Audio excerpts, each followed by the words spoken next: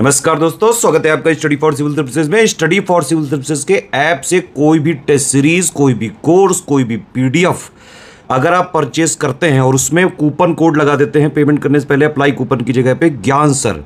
Small letter में है सब, बिना किसी स्पेस के। ये कूपन कोड लगा के 50 परसेंट का डिस्काउंट तुरंत मिलेगा। 31 मई तक है ये सिर्फ़ और सिर्फ़ ऐप वाले कोर्सेज में एप्लीकेबल है ये। ठीक है? तो स्टडी फॉर सिविल सर्विस में कई सारी टेस्ट सीरीज़ हैं यूके पीएससी है बीपीएससी है यूपीपीसीएस है आर ओ आर ओ है बी यू वाली है है ना टेस्ट पीडीएफ में कई सारी पीडीएफ होती हैं और कोर्सेज में भी कई सारे कोर्सेज स्टडी मटेरियल और वीडियो कोर्सेज भी हैं पीसीएस एग्रीकल्चर सर्विसेज़ वाला भी कोर्स है कई सारे और कोर्स आने वाले हैं इसमें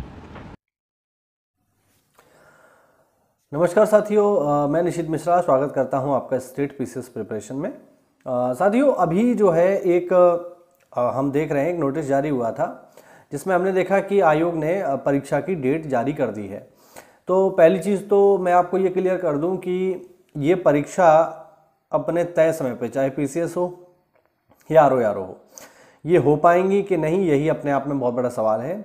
उसका बहुत बड़ा कारण ये है क्योंकि अभी भी, भले आयोग ने डेट जारी कर दी है, लेकिन इसके बावजूद भी आज की तारीख में, आज की डेट में जो है सुप्रीम कोर्ट ने अपना एक ऐतिहासिक फैसला सुनाया है, जिसमें कहा है कि किसी भी परीक्षा के नियम बीच परीक्षा के दौरान नहीं बदले जा सकते। यानी अगर आपको नियम बनाने हैं तो परीक्षा से पहले बनाइए। एक बार नोटिफिकेशन जारी होने के बाद उन नियमों को नहीं बदला जा सकता। यानी खेल के बीच में नियम नहीं बदले जाएँगे। नियम अगर आपको बदलने हैं तो खेल शुरू होने से पहले बदलिए। एक बार खेल शुरू हो गया, फिर उन नियमों को नहीं बदला जा सकता। ऐसा जो है सुप्रीम कोर्ट ने आदेश जारी किया है। और इसका जो है असर निश्चित रूप से विभिन्न परीक्षाओं पे, चाहे आर ओ आर ओ हो या पी सी एस हो इन पर पड़ेगा। क्योंकि इन दोनों ही परीक्षाओं में नॉर्मलाइजेशन के लिए कोई भी जगह नहीं है नोटिफिकेशन में भी कोई जगह नहीं है, और निश्चित रूप से लोग इसको स्वीकार भी नहीं कर रहे हैं कि नॉर्मलाइजेशन होना चाहिए। अब आयोग ने बीच में कह दिया कि नॉर्मलाइजेशन होगा। तो निश्चित रूप से ये एक विवाद का कारण तो बनने वाला है। ठीक है? तो यही एक गंभीर समस्या है कि आयोग इस चैलेंज को कैसे लेता है। क्या सुप्रीम कोर्ट की गाइडलाइन को फॉलो करेगा आयोग? ये देखने वाली बात होगी। और दूसरा सवाल ये है कि क्या तय समय पर परीक्षा अभी भी हो पाएगी या नहीं? एक सवाल है। लेकिन अगर हम ये मान के चलें कि चलिए परीक्षा जो है अगर तय समय पर भी होती है, मान लीजिए अगर हम ये मान के चलें कि जो तारीख दी गई है दिसंबर में, उन तारीखों पर अगर परीक्षा होती है, ठीक है, तब हमें क्या करना चाहिए? तो स्पेशली अगर मैं आर ओ आर ओ की बात करूँ यहाँ पर तो देखो, आर ओ में दो सेक्शन आते हैं, ठीक है? जीएस का ठीक है, और हिंदी का। अब तो दोनों एक ही में कर दिए हैं, इस बार के नोटिफिकेशन अगर आप देखोगे तो दोनों एक ही में कर दिए हैं, तीन घंटे का पेपर हो गया है। लेकिन फिर भी जीएस के दो जीएस के 140 अलग है और हिंदी के 60 अलग है। अगर आपको अभी भी अपना क्विक रिवीजन करना है, अभी भी आप जो है कम से कम कट ऑफ़ क्वालिफाई करना चाहते हो तो मेरी सलाह आप लोगों के लिए ये है कि आप हिंदी को अच्छे से पढ़ लो। हिंदी आप पढ़ी रहे होंगे। मैंने पहले भी कई बार बोला है कि आपको अगर यूपी में नौकरी चाहिए तो हिंदी आपको अच्छे से पढ़नी पड़ेगी। तो हिंदी तैयार की जा सकती है। मैंने इस चैनल पर पूरी हिंदी की प्लेलिस्ट बना रखी है आर ओ आर ओ के लिए। आप उसको जा कर के देखो, ठीक है? पाँच पाँच, सात सात, आठ आठ मिनट के वीडियोस हैं, उनको आप देख डालो जाके। और मैं सच बता रहा हूँ कि एक सप्ते में आप अपनी पूरी हिंदी का रिवीजन कर सकते हो। बहुत ही स्टैंडर्ड मटेरियल है, मेरे खुद के भी उसमें नोट शामिल हैं। तो अगर आप हिंदी को अभी से भी आप पढ़ लो तो एक सप्ते में या दस दिन में हद हिंदी आपकी पूरी रिवाइज छः के छः टॉपिक आप रिवाइज कर पाओगे। इसी चैनल की प्लेलिस्ट में जाना, वहाँ पर आपको आरो आरो हिंदी का सेक्शन मिलेगा, उसको देख लेना। अभी भी मैं यहाँ पर भी जो है हिंदी की क्लासेस चला रहा हूँ तो पूरा आप जो है तैयार कर सकते हो पूरा।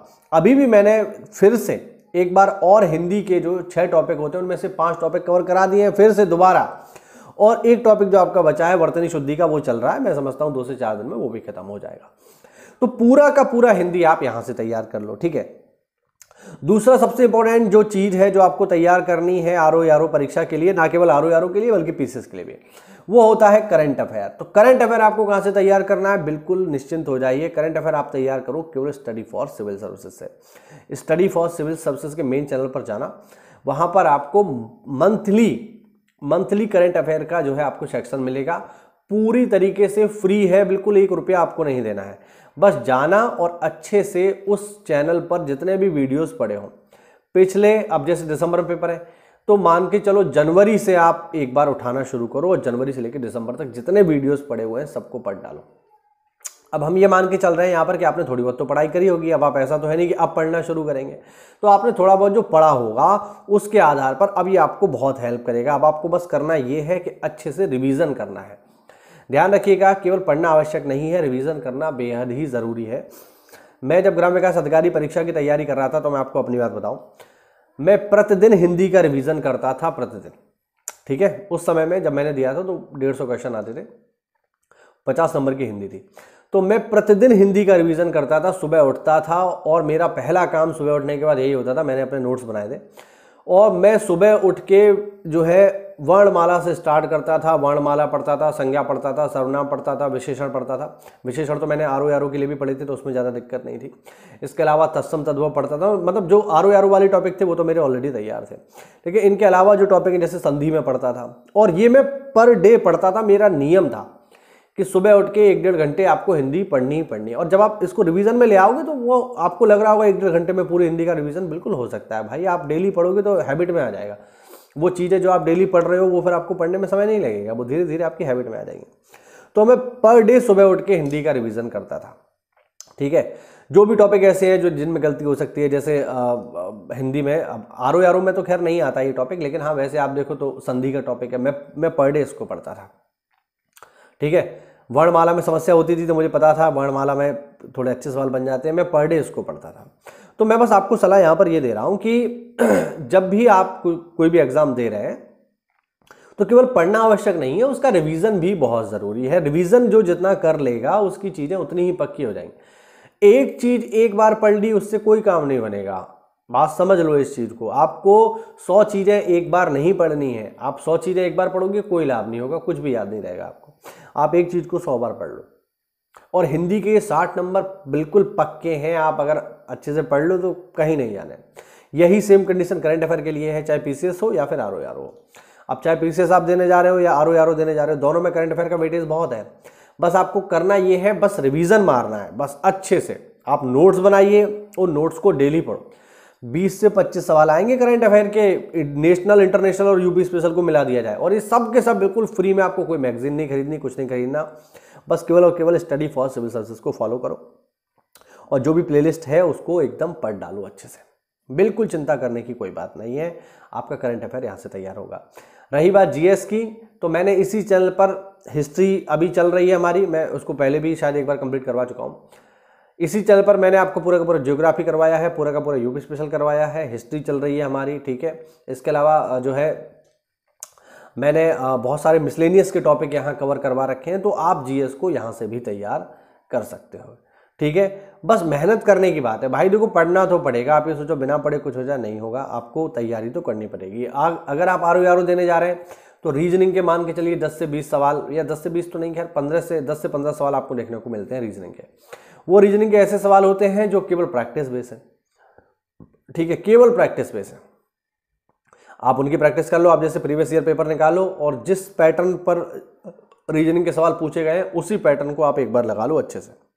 ज़्यादा लोड लेने की ज़रूरत नहीं है।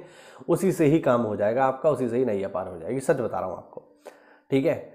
और बहुत आसानी से जो है, अगर आप रणनीति से चलोगे तो बहुत आसानी से आप कट ऑफ़ क्लियर कर जाओगे। आपको पेपर में जो टारगेट रखना है, वो रखना है। मान के चलिए 120 130 का टारगेट आप रखो। 120 130 में से आपके 55 प्लस तो हिंदी के ही हो गए। बच्चे कितने? 80 के आसपास। तो आपको 140 में केवल 80 ही सही करने हैं 80 नब्बे ही सही करने हैं। आपका सिलेक्शन कोई नहीं रोक सकता मेंस के लिए। बिल्कुल 100 परसेंट श्योर बात है। ठीक है? तो मेहनत बिल्कुल करिए, तैयारी आपको करनी पड़ेगी, मेहनत करनी पड़ेगी। हिंदी पे थोड़ा फोकस कर लो करंट अफेयर पे फोकस कर लो रीजनिंग पे फोकस कर लो, ठीक है? इसके अलावा आर ओ का ट्रेंड है जियोग्राफी के अच्छे सवाल आते हैं, मैंने चल पर पूरी जियोग्राफी कराई है, उसको आप प्रैक्टिस कर लो आराम से। तो मेहनत करिए, थोड़ा तैयारी करिए, और खासकर आर ओ आर ओ में क्या रहता है कि लिस्टिंग से बहुत सवाल आते हैं। तो मैंने इसी चैनल पर जियोग्राफी लिस्टिंग की पूरी तैयारी यहाँ करवाई है। आप इस चैनल पर जाइए प्लेलिस्ट के सेक्शन में जाइए, वहाँ जियोग्राफी लिस्टिंग का आपको एक प्लेलिस्ट मिलेगा, उसको पूरा देख डालो। तो लिस्टिंग से बहुत सारे सवाल आते हैं कि कौन सी चीज़ किसके लिए फ़ेमस है? आर ओ आर ओ का, आप पैटर्न तो समझिए कि किस तरीके से क्वेश्चन पूछ रहा है। तो ये बहुत हेल्प करेगा, आपको एनालाइज करना पड़ेगा, आपको क्रिटिकल एनालाइजिंग ये सीखनी पड़ेगी पेपर में किस चीज़, कौन सी चीज़ कैसे पूछी जा रही है, तभी आप एग्ज़ाम निकाल पाओगे, क्योंकि कॉम्पिटिशन भाई बहुत है, बहुत ही ज़्यादा है, दस लाख से ज़्यादा फॉर्म है, आर ओ में रिकॉर्ड हो गया, अब तक इतना फॉर्म नहीं पड़ा था कभी भी। बात समझ रहे हैं? तो भाई कंपटीशन बहुत ज़्यादा है, गला काट प्रतियोगिता है, लोग बस सबको सरकारी नौकरी चाहिए, भाई सबको सरकारी नौकरी चाहिए। तो ऐसे में फिर आपको मेहनत ज़्यादा करनी पड़ेगी क्योंकि नौकरी के चांस बहुत कम है और नौकरी लेने वाले लोगों की संख्या बहुत ज़्यादा है तो आपको मेहनत तो करनी ही पड़ेगी। और सच बता रहा हूँ, एक सरकारी नौकरी अगर आप पा जाएँ, आपका जीवन बिल्कुल बदल जाएगा, सुधर जाएगा, आपका एक पूरा परिवार, एक पीढ़ी आपकी सुरक्षित हो जाएगी। तो बिल्कुल मेहनत करिए, तैयारी करिए। एससीएस और मैं हमेशा आपके साथ हैं, हमारी पूरी टीम आपके साथ है। कोई भी डाउट हो, आप कमेंट के माध्यम से पूछ सकते हैं। इसके अलावा हमारे पेड ग्रुप जो भी जो टेस्ट सीरीज़ के चल रहे हैं, उसको ज्वाइन करके आप अपना क्विक रिविज़न और हमसे एक्सपर्ट सलाह भी ले सकते हैं। तैयारी करिए, मेहनत करिए, मिलते हैं अगली क्लास में। तब तक के लिए जय हिंद, जय भारत, वंदे मातरम।